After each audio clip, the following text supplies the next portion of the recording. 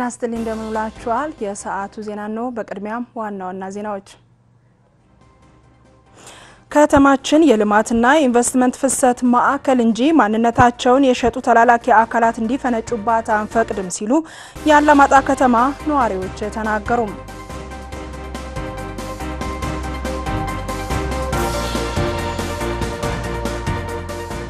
የኢትዮጵያ የተማሪዎች መላ ጨዋታዎች ውድድር በተሳካ ሁኔታ ለማካሄድ በቂ ዝግጅት መደረጉ ተገለጸ።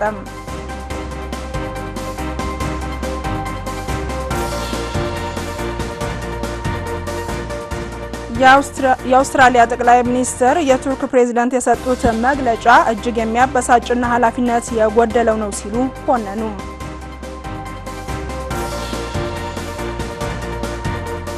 ከዜናዎቹ ጋር ትዕግስት ያለሙ አብራችሁን ቆዩም። ከተማችን የልማትና የኢንቨስትመንት ፍሰት ማዕከል እንጂ ማንነታቸውን የሸጡ ተላላኪ አካላት እንዲፈነጩባት አንፈቅድም ሲሉ የአላማጣ ከተማ ነዋሪዎች ተናገሩ።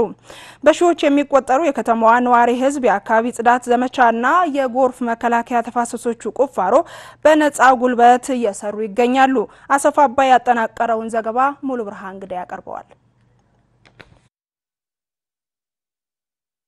Thank you. የአላማጣ ከተማ ህዝብ ካለፈው የካቲት ወር መጀመሪያ ጀምሮ የአካባቢውና የግል የጽዳት ዘመቻ ሲያካሄድ የቆየ ሲሆን አሁንም የጎርፍ መከላከያ ተፋሰሶችንና ሌሎች የመሰረተ ልማት ግንባታዎችን አጠናክሮ እየሰራ ይገኛል። በሺዎች የሚቆጠር የከተማዋ ህዝብ በነፃ ጉልበት በሚያከናውናቸው በርካታ የልማት ስራዎች የከተማ አመራሮችና የመንግስት ሰራተኞችም ተሳታፊ መሆናቸው ተገልጸዋል። የአላማጣ ከንቲባ አቶ ሀብተም ወረታ እንዳሉት ዘመቻው ህዝብ ባመነለት ዓላማ ታምር መስራት እንደሚችል ያረጋገጥንበት ነው ብለዋል። ከዚህ ዘመቻ የምንወስደውና ልንረዳው የምንችለው ነገር ቢኖር ህዝብ ለጊዜው የተለያዩ አጀንዳ በሚቀርጹ አካላት ሊደናገር ይችል ይሆናል። ህዝብ ባመነበት ወቅት ግን ተአምር መስራት እንደሚችል ያስተማረን ስራ ነው ብሎ መውሰድ ይቻላል። ከንቲባው በቀጣይም አሁን የተፈጠረውን የህዝብ መነቃቃትና ወኔ ተጠቅመን ሌሎች ስኬታማ የልማት ስራዎች ለመስራት አቅደን እየተንቀሳቀሰን ነውን ብለዋል። የቀሩን ስራዎች ከህዝቡ ጋር በመቀናጀት የምንችለውንና የማንችለውን ስራዎች በመለየት የምንችላቸውን ስራዎች ለህዝቡ በግልጽ ነግረን ከአቅማችን በላይ የሆነውን ደግሞ ህዝቡ እንዲያግዘን በማድረግ በጋራ ሆነን ለመስራት ህዝባችን ከጎናችን እንዲሆን እየሰራን ነው። ኣብ ጎንና ክስለፍ ናይ ምግባር ስራሕ ንሰርሕ ኣለና። ያነጋገርናቸው የዘመቻው ተሳታፊዎች በበኩላቸው የራያ ህዝብ ጥያቄ የልማት እንጂ ሌላ ጥያቄ እንደሌለው ከዚህ በላይ ማረጋገጫ ሊኖር አይችልም ሲሉ ተናግረዋል። ናይ ህዝቢ ያለመጣ ህዝብስ ያው ተም ሕማቃት ምንድንጋር ሞክሮም እዮም የአላማጣን ህዝብ ለማደናገር ጥቂት ችግር ያለባቸው ሰዎች ሙከራ አድርገዋል። እነዚህ ሰዎች ኪራይ ሰብሳቢዎችና የራያ ልጆች ያልሆኑ እንዲሁም የራሳቸውን ጥቅም ለማግኘት ሲሉ የሚሰሩት መሆኑን ህዝቡ ተረድቷል። ይህ የማደናገሪያ አጀንዳ የግለሰቦች ፍላጎት እንጂ የህዝቡ አለመሆኑ ተገንዝቦ በሁሉም የልማት ስራዎች እየሰራ ይገኛል። ኣብ ኩለን መረባቱ መራሒ ድግባዕ ህዝቢ አላማጣ ተይኮነ ካብ ካልእ ዓድላ መፅኦም ዝርብሹ ዝፀንሑ የአላማጣ ህዝብ ሳይሆን ከሌላ ቦታ እየመጡ ነው ሲረብሹን የነበረው። የአላማጣ ህዝብ የልማት ፍላጎት እንጂ የሌላ ፍላጎት የለውም። የሰላም ፍላጎት ስላለው ነው። ሰላማችን እናሰፍናለን፣ ልማታችንም እናለማለን በማለት ወደ ልማት ስራው የገባው። በከተማዋ በዚህ በጀት ዓመት 600 ሜትር ርዝመት ያላቸውን የጎርፍ መከላከያ ተፋሰሶችን በህዝብ ለማስገንባት ታቅዶ እየተሰራ እንደሆነ ለማወቅ ተችሏል። በሑመራ ኡም ሐጀር በኩል የተጀመረውን የኢትዮጵያና የኤርትራ የንግድ ግንኙነት ተጠናክሮ እንዲቀጥል የሀገራቱ መንግስታት ድጋፍ ማድረግ እንዳለባቸው የሰቲት ሑመራ ነዋሪዎች ገለጹ። ነዋሪዎቹ የሁለቱ ሀገራት ግንኙነት ህዝቦቻቸው እንዲነቃቁና እንዳነቃቃና እንዳስተሳሰረ የገለጹ ሲሆን ለሁለቱ ሀገራት ግንኙነት ደህንነት ሲባል ህጋዊ የሆነ የንግድና የጉምሩክ ስርዓት አስፈላጊ መሆኑንም ተናግረዋል።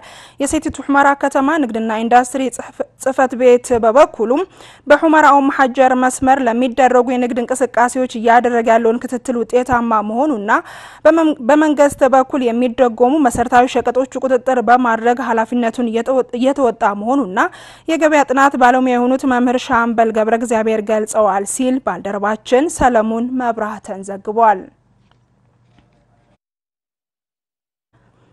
ድንበር ተሻጋሪ የዩኒቨርሲቲዎች አውደ ጥናት በሱዳንና ኢትዮጵያ ድንበር ያለው ሕገ ወጥ የሰዎች ዝውውር ለመግታትና የሕግ ማዕቀፍ ለማውጣት ጠቃሚ ግብዓቶች የተገኙበት እንደነበር ተሳታፊዎች ገልጸዋል።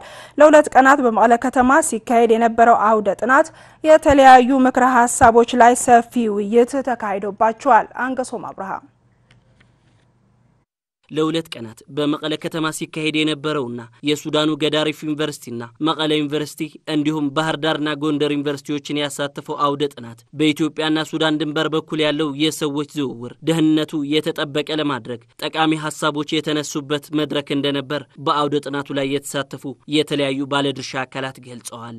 ሶስቱም ዩኒቨርሲቲዎች ምርምሮችም እየቀረቡ ወደ መፍትሄ የምንመጣበት ሁኔታ እየተፈጠረ ነውና አሁንም የተሻለ discussion ነው የተካሄደው። ከባለፈው የተሻለ ወደ practical ስራ እንዴት እንግባ፣ የሁለቱም ሀገሮች ህግ አለ፣ ያላሟሉት ነገር እንዴት እናሟላ፣ እንዴት ወደ ስምምነትና ቅርርብ እንምጣ የሚል discussion ነው የተካሄደው። ቶቻችን ወንድሞቻችን የተሻለ ነገር እናገኛለን ብለው እየሄዱ ገንዘብ እንኳ ይዘው የማይመለሱበት ሁኔታ ውስጥ ነው የነበሩት።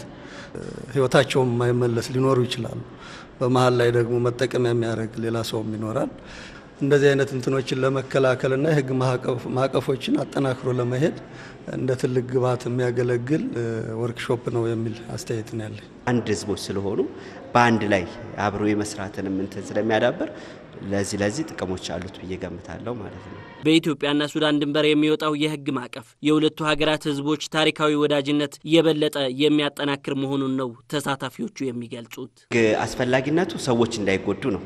ሰዎች ላይ አደጋ እንዳይደርስ ነው። አደጋ ቢደርስ ደግሞ የሚካሱበትን በህግ አግባብ መብታቸውን እንዲጠይቁበት ማድረጊያ መብት እንጂ የሰዎችን the right to move ወይም ደግሞ የመንቀሳቀስ መብት ለመገደብ አይደለም።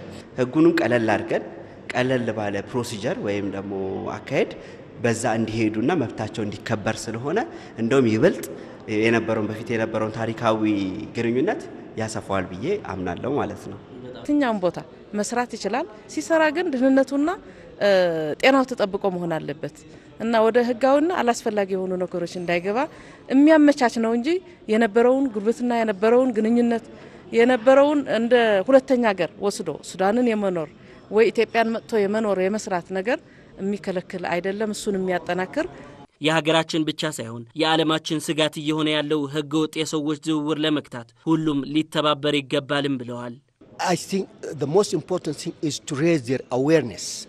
እኔ እንደሚመስለኝ በጣም ጠቃሚው ነገር የግንዛቤ ስራ መስራት ነው። ስደት ጥሩ ሊሆን ይችላል፣ ህዝቡ ወደ ፈለገበት መንቀሳቀስ ይችላል። ነገር ግን ደግሞ ከህገ ወጥ የሰው አዘዋዋሪዎች ልንከላከልላቸው ይገባል።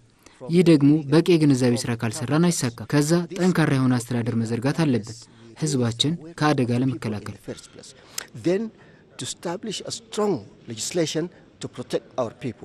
ህገወጥ ደላሎች አሉ።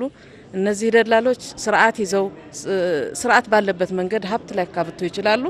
የሰው ልጅ በመሸጥ ህይወትን በማጥፋት የሚሰበሰብ ሀብት ግን ምናልባት ምናልባት ነገ ለነሱም ለኛ ለሁላችን የጥፋት ምንጭ ሊሆን ስለሚችል ይሄ ነገር ህጋዊ በሆነ መንገድ እንዲሄድ በተለይ ወጣቶች ደግሞ ብዙ ስራዎችም እየተሰሩ ነው። ትግራይ ውስጥ የግንዛቤ ስራዎችም እየተሰሩ ነው።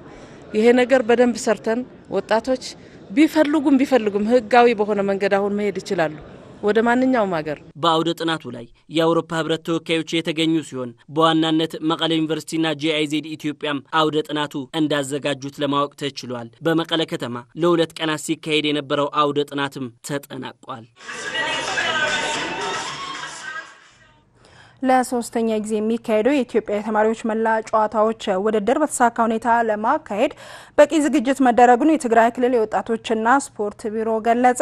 ቢሮ 12 ኮሚቴዎችን በማዋቀር ከሀገሪቱ ከሁሉም ክልሎች ለሚመጡ 3500 በላይ ተወዳዳሪዎች ለማስተናገድ አስፈላጊውን ቅድመ ዝግጅት ማድረጉን የቢሮ ኃላፊ በተለይም ለድምፅ ወያነ ቴሌቪዥን ገልጸዋል። ንግስት ያሉ ተጨማሪ አላት። ከመጋቢት 14 እስከ 29 በመቀለ ከተማ የሚካሄደው የተማሪዎች መላ ጨዋታዎች ውድድር ከሁሉም የሀገሪቷ ክፍል የተወጣጡ ከ3500 በላይ ተወዳዳሪዎችን በ20 የስፖርት አይነቶች ተሳታፊ ይሆናሉ። ውድድሩ የተሳካ ይሆን ዘንድም በጸጥታ በጤናና የከተማ መስተንግዶ እንዲሁም ለዝግጅቱ በሚያስፈልጉ ጉዳዮች ላይ በቂ ዝግጅት መደረጉን የትግራይ ክልል የወጣቶችና ስፖርት ቢሮ ኃላፊ ወይዘሮ ገነት አረፈ ተናግረዋል። ዝግጅቱ ያው በተሻለ መልኩ ሆኖ እንዲቀጥል አስራ ሁለት ኮሚቴዎች አቋቁመን የጀመር ነው። እነዚህ አስራ ሁለት ኮሚቴዎች በየጊዜው እየገመገምን የራሳችን የስራ ድርሻ አለን። ይህንን ውድድር ደማቅ ሆኖ እንድናሳልፍ እየገመገምን እየተከታተልን ዝግጅት እያደረግን እንገኛለን። የተለያዩ የስፖርት መዘውተሪያ ስፍራዎች በተለይ ደግሞ ለሀያ የስፖርት አይነቶች ለመወዳደር የሚያስችል ዝግጅት ትልቅ ዝግጅት የሚያስፈልግ ዝግጅት አድርገናል ብለን እናስባለን። መሰል ውድድሮች ሀገራዊ አንድነት በማጠናከር በኩል ትልቅ ፋይዳ እንዳላቸው የገለጹት ወይዘሮ ገነት ውድድሩ አሁን ሀገሪቷ ካለችበት ወቅታዊ ሁኔታ አንጻር የሕዝብ ትስስሩ በማጎልበት ረገድ ትልቅ ሚና ይጫወታል ብለዋል። ኢትዮጵያ እስካሁን የምትታወቅበት ያው ታሪኩ እየተቀየረ የድህነት ሀገርና የጦርነት ሀገር የነበረችበት እየተቀየረበት ሁኔታ ነው ያለው ወደ ሰላማዊ ሁኔታ የመጣበት ጊዜ ነበረ። አሁን ደግሞ የተለያዩ ግጭቶች የሚነሱበት ሁኔታ ነው ያለው በብሔርም በሌላ ማለት ነው። ስለዚህ ከዚህ በተለየ በስፖርት ጥሩ ጥንካሬ ጥሩ እንደ ኢትዮጵያ የሚተላለፍበት ያለንን የነበረን ታሪክ ጥሩ ግንኙነት ከማስተላለፍ አኳያ ጥሩ ሚና ይኖረዋል ብለን ነው የምናስበው። ይሄ በውድድሩ የሚሳተፉ እንግዶችም ምንም አይነት የጸጥታ ስጋት ሊያድርባቸው እንደማይገባ ገልጸዋል። ትግራይ የምትታወቅበት ሰላማዊ ክልል ናት። ይህንን ሰላማዊት ክልል እንደመሆኗ መጠን ከተለያዩ ክልሎች የሚመጡትን በሰላማዊ መልክ አስተናግዳ በሰላማዊ እንዲያልፍ ጥሩ ዝግጅት እየተደረገ ነው የሚገኘው። ሶስተኛው የተማሪዎች መላ ጨዋታዎች ውድድር በተሳካ ሁኔታ ለማካሄድ የህብረተሰቡ ተሳትፎ አስፈላጊ በመሆኑ ህብረተሰቡ አስፈላጊውን ትብብር እንዲያደርግ ጥሪያቸውን አስተላልፈዋል። የሚመጡት ልጆች እንደ ልጆቻችን አድርገን ተንከባክበን የሚያስፈልገውን ጥሩ ትምህርት አስተምረን መላክ ያለብን።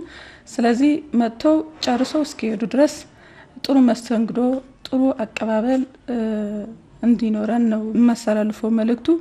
የሚደረገው ያለው ዝግጅትም በዚህ መልክ ነው። ስለዚህ ይህንን አጠናክረን እስከ መጨረሻ በጥሩ ሰላማዊ ደማቅ ሆኖ እንዲተላለፍ ጥሬን አቀርባለሁ። የኢፌዴሪ ጠቅላይ ሚኒስትር ዶክተር አብይ አህመድ በኳታር ከአሚር ሼክ ታሚን ሐሚድ አልታሃኒ ጋር በበርካታ የሁለትዮሽ ግንኙነቶች ላይ ተወያይተዋል። የጠቅላይ ሚኒስትሩን ጉብኝት አንድምታ አንገሶም አብርሃ በትንታኔ ተመልክቶታል።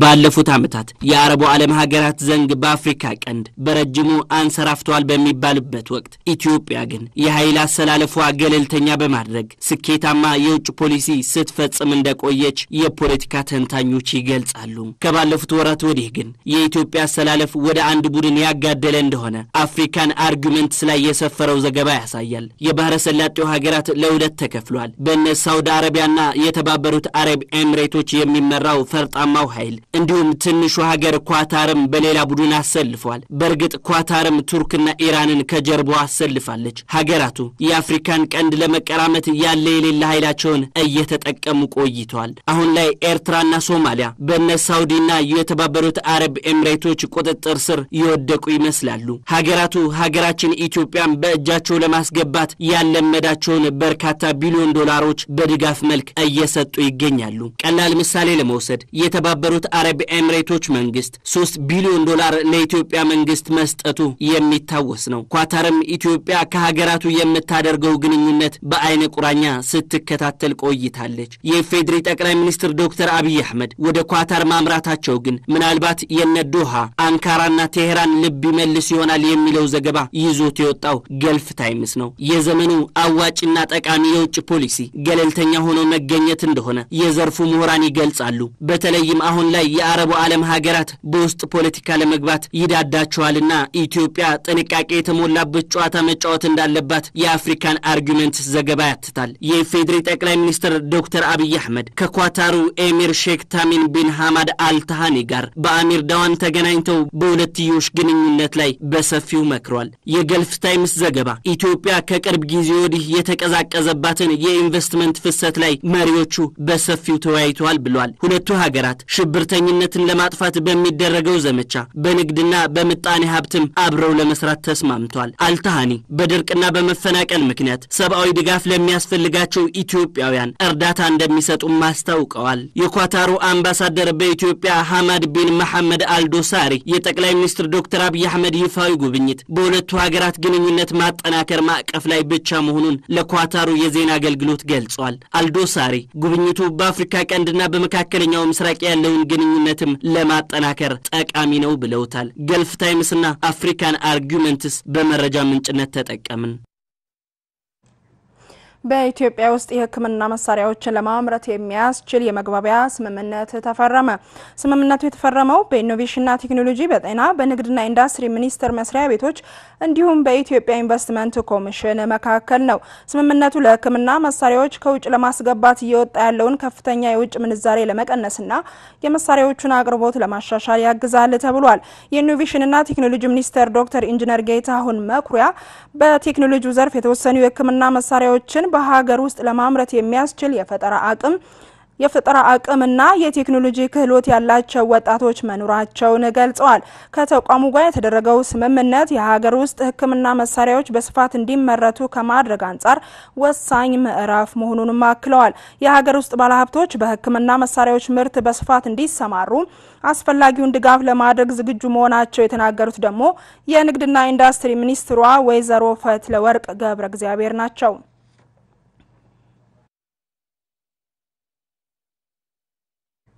ዜናዎቻችን እንደቀጠሉ ናቸው። የውጭ ዜና የአሜሪካ መንግስት የቦይንግ 737 ማክስ አውሮፕላን በረራ እንዲያደርግ ፍቃድ ያገኘበት መንገድ እንዲጣራ ትዕዛዝ ሰጥቷል። ይህ ውሳኔ የተሰጠው በአምስት ወራት ውስጥ ኢትዮጵያና ኢንዶኔዥያ ውስጥ ሁለት 737 ማክስ eight አውሮፕላኖች ተከስክሰው 346 ሰዎች መሞታቸውን ተከትሎ ነው። ይህን ተከትሎ የአሜሪካ የትራንስፖርት ሚኒስትሯ ኢላይን ቻኦ 737 ማክስ አውሮፕላን ከምርት ቀጥሎ ለበረራ ፍቃድ ያገኘበት መንገድ እንዲጣራ ትዕዛዝ ሰጥተዋል። የአሜሪካ የፍትህ መስሪያ ቤት ደግሞ የፌዴራል አቪዬሽን አስተዳደር በቦይንግ አውሮፕላኖች ላይ እያደረገው ያለውን ቁጥጥርና ፍተሻ እየመረመረ ነው ተብሏል። አውሮፓና ካናዳ ከዚህ በኋላ በ737 ማክስ አውሮፕላን ላይ የራሳቸው የደህንነት ማረጋገጫ ምርመራ ሳያደርጉ የበረራ ፍቃድ እንደማይሰጡ ነው የገለጹት። የአሜሪካው የፌዴራል አቪዬሽን አስተዳደር የሚሰጠውን ማረጋገጫ ከመቀበል ይልቅ ገለልተኛ የሆነ የራሳችን ማጣራት እናደርጋለን ብለዋል። ይህ ምርመራ የቦይንግ ድርጅት የሆኑ አውሮፕላኖች ወደፊት ሊያደርሱት የሚችሉትን አደጋ ለመቀነስ ያለመ መሆኑን ቢቢሲ ዘግቧል።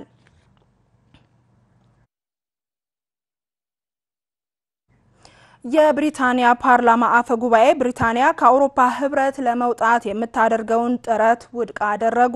የብሪታንያ መንግስት የአፈ ጉባኤ ውሳኔን ተከትሎ ጉዳዩን እነሱ the Commons እያሉ በሚጠሩት ምክር ቤት ውሳኔ እንዲያገኝ ሙከራ እያደረጉ ይገኛሉ። ደስ እያሸናፊ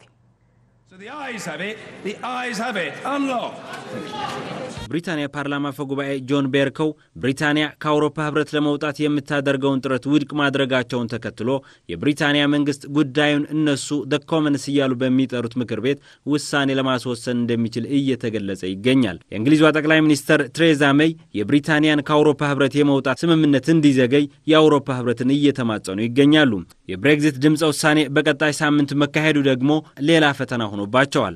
የፓርላማው አፈ ጉባኤ ቤርከው በበኩላቸው ጠቅላይ ሚኒስትር ቴሬዛ ሜይ በብሬግዚት ስምምነት ላይ የአቋም ለውጥ እስካላደረጉ ድረስ ለሶስተኛ ጊዜ ድምፅ ለመስጠት እንደማይቀመጡ ገልጸዋል። በመጪዎቹ አስር ቀናት ብሪታንያ በስምምነት አሊያም ያለ ስምምነት ከአውሮፓ ህብረት ልትወጣ እንደምትችል እየተገለጸ ይገኛል። ጠቅላይ ሚኒስትሯ ቴሬዛ ሜይ በዚህ ሳምንት ከአውሮፓ ህብረት ጋር አድርገውት የነበረውን ስምምነት የምክር ቤቱ አባላት እንደሚደግፉት ተስፋ አድርገው የነበረ ቢሆንም የምክር ቤቱ አፈ ጉባኤን ጨምሮ በምክር ቤቱ ተቃውሞ ገጥሟቸዋል። የጀርመኗ ቻንስለር አንጌላ መርክል ከአውሮፓ ህብረት ጋር በስምምነት ለመለያየት ጠቅላይ ሚኒስትር ቴሬዛ ሜይ የሚቻላቸውን ማድረግ አለባቸው ብለዋል። የፈረንሳይና የጀርመን የአውሮፓ ህብረት ሚኒስትሮችም የብሪታንያው ምክር ቤት የብሬግዚት ስምምነት ላይ በተቻለ ፍጥነት ድምፅ በመስጠት መወሰን አለበት ሲሉ ገልጸዋል። የአውሮፓ ህብረት ኮሚሽን ፕሬዚዳንት ጂን ክሎድ ጃንከር እና የአውሮፓ ህብረት ምክር ቤት ፕሬዚዳንት ዶናልድ ታስክ በብሬግዚት ስምምነት ጉዳይ በዳብሊን ከአይርላንዱ ጠቅላይ ሚኒስተር ሊዮ ቫራዳከር ጋር እየመከሩ ይገኛሉ። የሰራተኞች ፓርቲ መሪ የሆኑት ጀርሚ ኮርቢን በበኩላቸው በብሬግዚት ስምምነት ጉዳይ ላይ በብሪታንያ ከሚገኙ ተፎካካሪ ፓርቲዎች ጋር ለመምከር እቅድ መያዛቸው እየተነገረ ይገኛል። መጋቢት 29 ብሪታንያ ከአውሮፓ ህብረት ጋር ያላት ግንኙነት በስምምነት አሊያም ያለ ስምምነት ሊቋረጥ የሚችልበት ቀን መሆኑን ቢቢሲ ዘግቧል።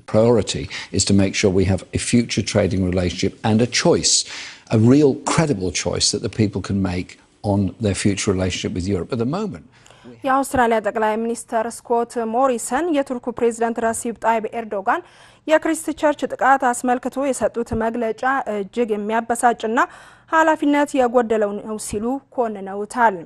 የቱርክ ፕሬዝዳንት ረሲብ ጣይብ ኤርዶጋን የኒውዚላንድ ጥቃትን አስመልክተው ሲናገሩ ጥቃቱ በቱርኮችና በሙስሊሞች ላይ የተጋረጠ ነው ብለው መሰል ጥቃቶች በአውስትራሊያ የሚፈጸሙ ከሆነ ግን ልክ እንደ አያታቸው በሬሳ ሳጥን ተጭነው ይመለሳሉ ሲሉ ዛቻ አዘል መልእክት አስተላልፈዋል። በሁለተኛው የዓለም ጦርነት ጋሊፖሊ በተባለ ቦታ አውስትራሊያና ቱርክ ባደረጉት ጦርነት ከ800 በላይ አውስትራሊያውያን መሞታቸው ተገልጿል። በዚህ ጉዳይም የኒውዚላንድ ጠቅላይ ጠቅላይ ሚኒስተርና የቱርኩ አምባሳደር መወያየታቸው ተገልጿል። ለሰዓቱ ያልናቸው ዜናዎች እነዚህን ይመስሉ ነበር። መርጣችሁን አብራችሁን ስለነበራችሁ ከልብ እናመሰግናለን። መልካም ቀን